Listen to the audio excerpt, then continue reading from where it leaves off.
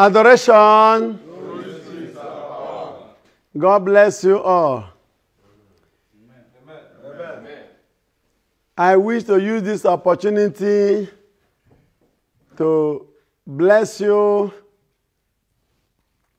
and encourage you as I depart to the monastery in obedience to my bishop, his lordship, CVC Onaga. I am going to the monastery under priestly obedience, and I wish to encourage you, fellow adorers, to remain calm and be still, as the Bible says in Psalm 46, verse 10 Be still and know that I am God. This is a time we shall know real adorers. Please, please, and please, back me with your prayers so that I will go and embark on deeper reflections, sober contemplations, and interior waiting on the Lord. I wish to assure you, as the Bible says in Jeremiah 29, verse 11, that God has plans for us for a future and a hope, not of disaster. Remember in that Jeremiah chapter 29, verse 14, he says, I will reverse your conditions. After he has said in Jeremiah 29, verses 12 and 13, When you call on me, I will answer you. When you search for me, you will find me. Please use this opportunity to call on God for the integral wellness and well being of the adoration ministry. That is the apple of God's eyes, of Zechariah 2, verse 8. And I wish to inform you, fellow adorers, that this is not a time to be cantankerous, to be sorrowful, to be angry unnecessarily.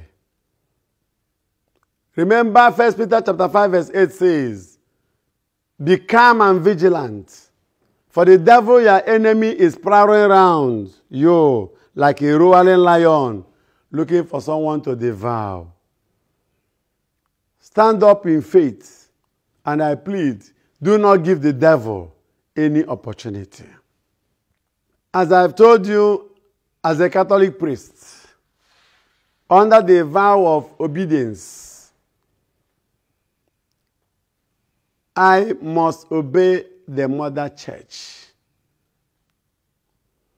Please, in my absence, don't do anything that is awful or anything that will, in any way, shape, or form, give the devil any iota of opportunity or glory.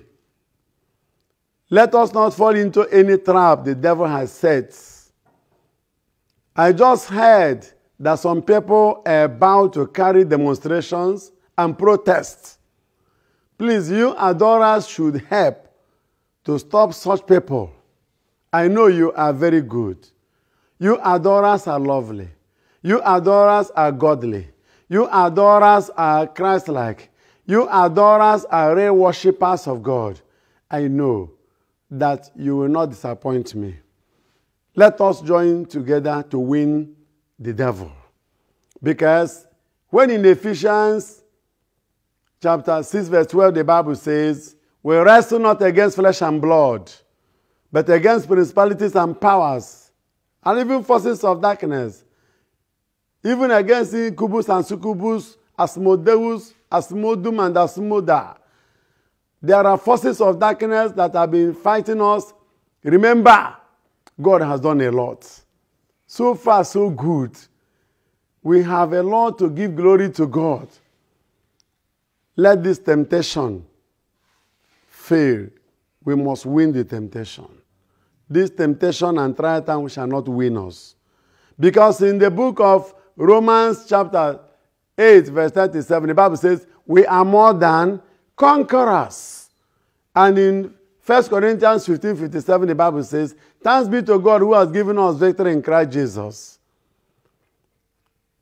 My Lord Bishop, His Excellency CVC Onaga, please pray for me. I will also pray for you as I go there.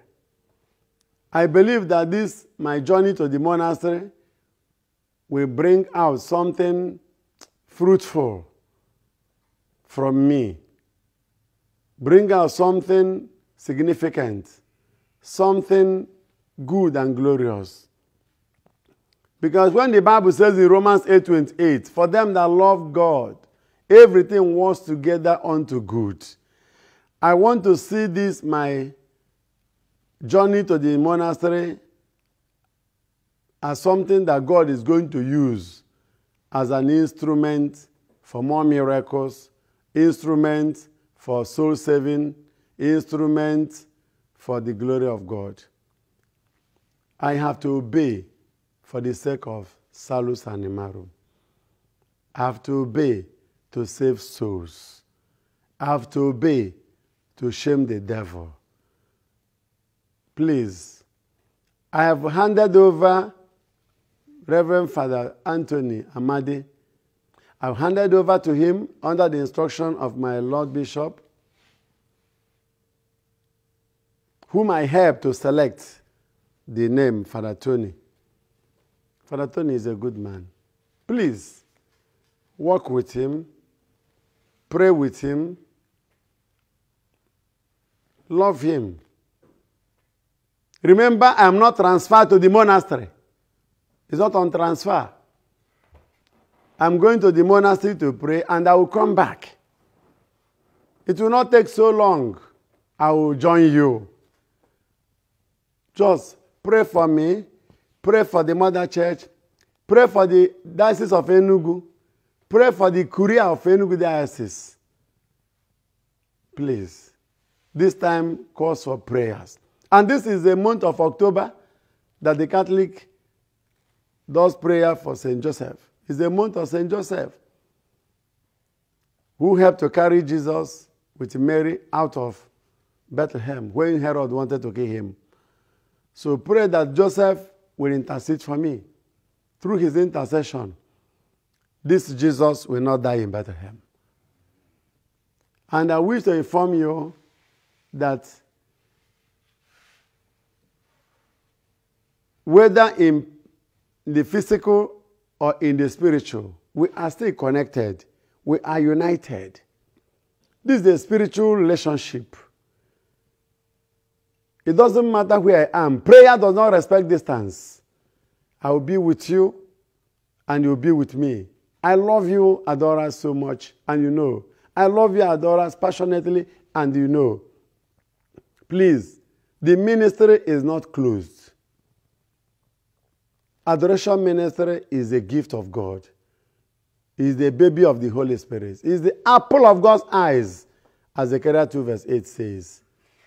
So don't misunderstand anybody. Just like what they did on last Sunday, after handing over to Father Anthony, I started hearing that Father Mbaka spoke against Peter Obi. I, Reverend Father Mbaka, on that Sunday, never mentioned Peter, not to talk of Obi. Please, whoever is being used by the devil to blackmail me in the name of doing any job for anybody is satanic and should apologize and withdraw such nefarious and satanic utterance and be careful when you want to harm the image of a man of God. Whoever did that, I've forgiven you, but I want to hear that you have apologized and withdrawn what you said against me on that day. Just to put the adoration ministry in trouble. Please, as I've said, that I heard that some people are planning to do protests. I have not asked anybody to protest for me. And I don't want to hear that there is any protest done to express anger towards my journey to the monastery. Help me, fellow adorers, to stop any kind of protest that anybody will carry on my behalf to please me. Because instead of the protest or demonstration helping me, it may jeopardize even my priestly call. Therefore, encourage peace, encourage love within this time, and do more of prayers, and God of heaven will do the rest for us in Jesus' name. So, as I go, I bless you and I wish you the best. Please, please, and please be happy with Jesus. Continue to pray your rosaries. Continue to stay with the Blessed Sacrament. Continue to live your life of righteousness. Continue in charity. Continue with the Bible, the Word of God. Please do not depart from the presence of God. And never you hate the church because of my exodus to the, men, to the monastery. And let me tell you, you can never tell. By the time I go and come back, as Abraham said in Genesis 22, verse 5, he said, I'm going with my son Isaac, and uh, we are coming back. Now I'm going with my Bible. I'm going not just with my Bible, I'm going with the Holy Spirit, with Jesus, with the Father, and with his angels. We are coming back. There's no cause for alarm. It is well. It is well. And it is well. Peace be with you as I cover you with the blood of Jesus. And I bless you in the name of the Father, Son, and of the Holy Spirit.